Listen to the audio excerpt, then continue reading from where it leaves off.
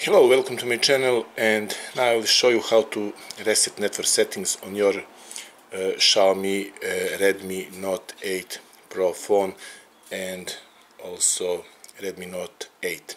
So what you have to do, uh, go to settings, okay, under this settings menu type on Wi-Fi, okay, when you are when you are in this this menu go and uh, and uh, slice it down nah.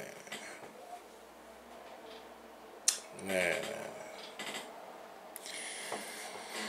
Nah, nah, nah, nah.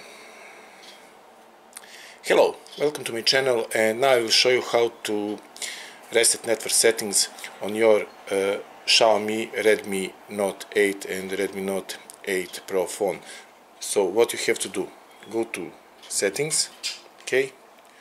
When you are in settings menu go to SIM cards and mobile networks menu and there click on more okay? When you are on this menu on the bottom when you slice a little bit with the finger up so see up if you slice this up. You will see menu reset Wi-Fi mobile and Bluetooth. Okay? Type on it. And here it is.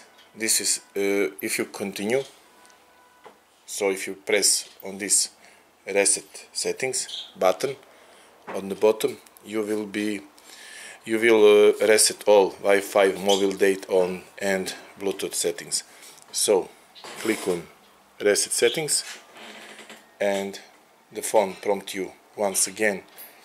Do you really wish to reset all those settings?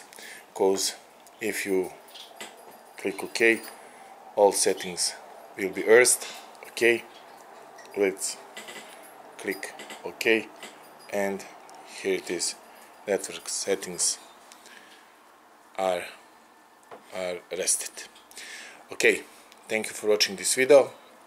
If this video was useful for you, please like it, share it, and of course leave me the comment in the comment section below. It means a lot to me.